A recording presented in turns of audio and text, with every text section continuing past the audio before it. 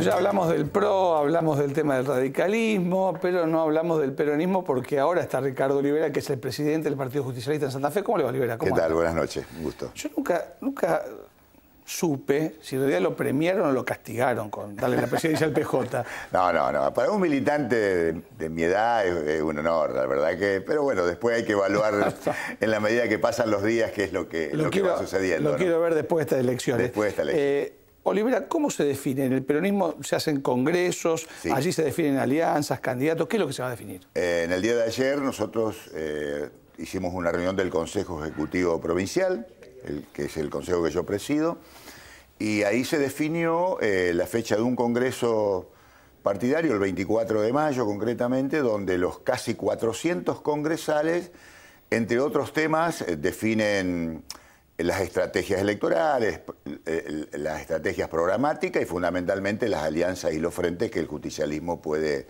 llegar a, conformar en los días siguientes, antes de los cierres, sobre todo del primer cierre, creo que es el 4 de junio, donde se hacen las alianzas provinciales y luego las alianzas nacionales. Pero esto lo decide el Congreso con fecha concreta que es el 24 de mayo. Eso es lo formal, Olivera, pero después está lo otro. Me imagino que ya habrán levantado el teléfono varios dirigentes, no sé, me imagino, eh, Rossi, Grandinetti por el tema del masismo, Rubeo, eh, ¿han hablado con usted? Sí, la mayoría ha hablado conmigo. Eh, te digo, la estrategia y un poco también en esto lo que se resolvió hoy y venimos charlando con muchos dirigentes, es primero tratar de definir como partido que todos los espacios puedan llegar a participar dentro del frente que constituye el, Partido Justicialista. Es decir, vamos a hacer todo lo posible para que nadie esté por afuera, ¿no? Esto significa empezar a hablar con otros partidos. Yo tuve una reunión con, con Grandinetti y con otros partidos definiendo o charlando algunas posibilidades.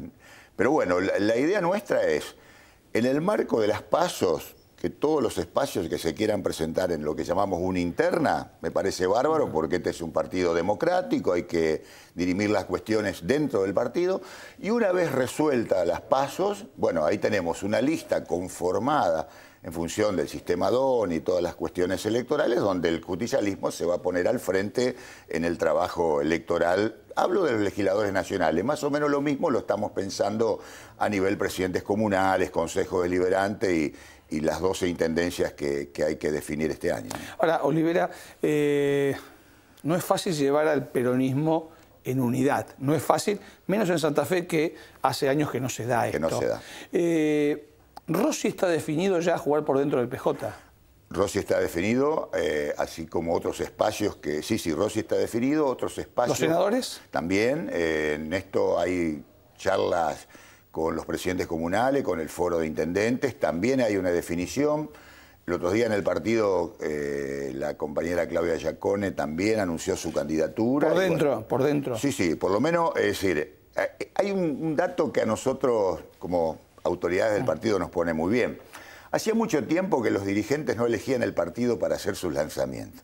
Entonces todo esto que estoy comentando se realizó dentro del partido, tanto el espacio de los senadores con los intendentes y los presidentes comunales fue, eh, el acto, la convocatoria fue hecha en el partido, lo mismo lo de Claudia, los espacios que, están intentando armar eh, alguna lista están participando dentro del partido, es decir, nosotros no lo podemos garantizar, ponemos mm. todo para que sea así, creo que acá hay una definición que es muy clara.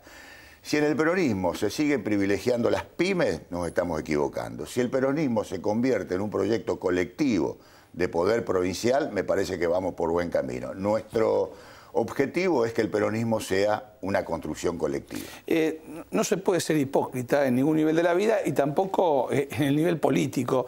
Eh, hay mucho miedo, para no decir otra palabra, de algunos sectores de que los encasillen dentro del Frente para la Victoria. ¿Sigue siendo ese el cuco para poder armar la unidad del peronismo?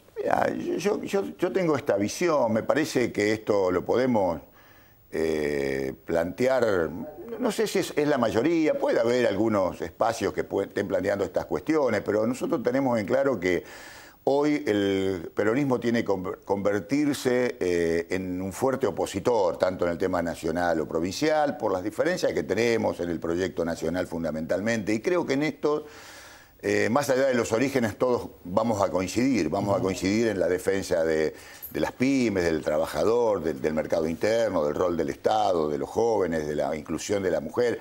Eh, entonces, creo que hay muchas cosas en las cuales nosotros coincidimos más de las que disentimos. Entonces, me parece que es posible. No digo que es fácil, es un desafío que hemos asumido hace un año, el primero de junio, vamos a cumplir un año en la gestión pero bueno, estamos poniendo todo para que esto sea así. Eh, Olivera, lo último, ¿está mejor el PJ de la provincia que el PJ nacional? Me parece que sí. Eh, me da la sensación que hoy nosotros, una sensación que tengo, me parece que hoy hemos logrado avanzar. Eh, a ver, en la reunión del Consejo Ejecutivo ayer en, la mesa del partido están sentados todos los sectores, una cosa que no era común en el PJ y creo que lo, estamos logrando. Yo sé que hay cuestiones que son difíciles, hay historias, eh, pero bueno, eh, ponemos todo el esfuerzo en el diálogo y la, necesidad de construir ese proyecto colectivo que necesitamos. ¿Se preside como candidato usted? Obviamente, yo soy presidente del partido. Bien. Olivera, gracias por haber venido. No, ¿eh? por favor. Seguimos. Así es, Marcelo, vamos a ver un informe porque se creó la Unidad Técnica Reguladora del Transporte Santa Fe Paraná. Esto tiene que ver con un pedido de los usuarios, fundamentalmente los usuarios universitarios que están pidiendo que se regule este servicio.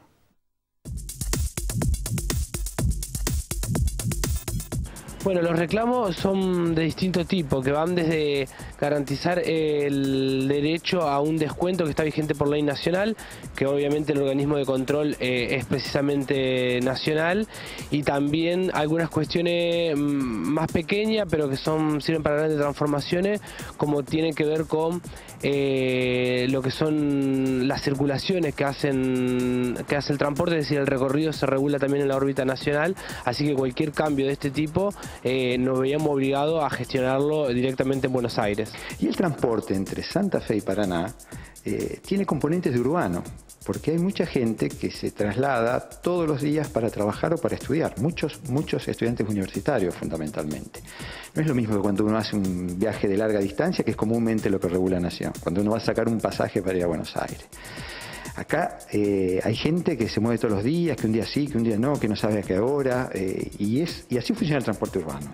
Respecto de descuentos este, para el transporte Santa Fe-Paraná, nos encontramos ante la situación de que en la ciudad de Santa Fe existe un descuento urbano para, para el sistema educativo, lo mismo en la ciudad de Paraná, lo mismo un descuento a nivel provincial y no estaban cubiertos este, quienes se mueven entre las dos ciudades de capital. Así que lo que estamos pidiendo concretamente es eh, la efectivizar un descuento que, rige a nivel nacional de transporte interurbano en el orden del 25% y poder trabajar para que en la medida de lo posible sean equiparados este, quienes estamos en el sistema educativo con un descuento de, carácter social como una política este, en favor de la educación del Estado Nacional. Y la idea final es tener un transporte mucho más adaptado a nuestras necesidades, un transporte mucho más ágil. Hoy por normativa nacional, por ejemplo, todos los servicios tienen que salir y llegar a una terminal de colectivos. Eso no nos sirve a nosotros. Nosotros necesitamos mucho más agilidad. Nosotros estamos pensando tres servicios distintos para la ciudad de Santa Fe, incluso alguno de ellos que eh, llegue y salga directamente de Ciudad Universitaria, sin necesidad de, recorrer toda la ciudad.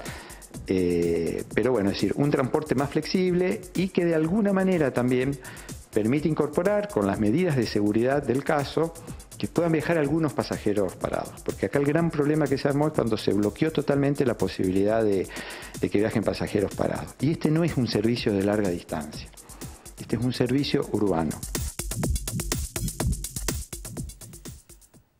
Bueno, vamos llegando al final en este sábado de la noche, eh, pero antes vamos a hacer mención al tema de Sancor, eh, porque allí hay 4.000 familias que están expectantes de ver qué es lo que sucede con la empresa. La última noticia, lo que se conoció en el día de ayer y antes de ayer, esto de que se destrababa el tema con el gremio y por lo tanto la nación eh, lo que está haciendo justamente es enviar ese dinero, esos 450 millones de pesos, para que se cobren sueldos atrasados, se pague algunos proveedores, pero también hay que decir eh, la verdad. eh, no está solucionado el problema de Sancor, ni creo que estemos tan cerca. Los senadores provinciales plantean el tema de la emergencia eh, de las empresas lácteas, de la industria láctea en la provincia de Santa Fe por 180 días para tratar de encaminar no solamente Sancor, sino el resto de las empresas. Lo que decía Barleta en un momento del programa, ¿no? gerentes que cobraban 400 mil pesos por mes. una empresa mal administrada no puede aguantar y menos con este tipo de dirigentes. Esperemos eh, por los 4.000 trabajadores que esto eh, se revierta. Gaby, ¿nos estamos yendo? Nos vamos. Te invitaron al cine. Me invitaron al cine, sí. A, las 10 de Pero la mañana. a las 10 de la mañana, para los niños. Se ve que me vieron cara de niña. Exactamente, una niña, una niña. no prometo nada. Bueno, después, después, después del cine, después del cine al mediodía le invitarán a comer también. ¿Será? Me imagino. Bueno, vamos a ¿Eh? ver, ojalá. Bueno, muy bien. Con la ropa de mami chula siempre, va a encontrar a alguien que, que, le alguien invite. me invita. Exactamente. Gabriela, nos reencontramos el próximo fin de semana. Nos reencontramos de nuevo, gracias. Muy bien, nos vamos, ¿eh? nos vamos eh, y esperamos contar también con ustedes del otro lado de la pantalla. Chao, muchas gracias.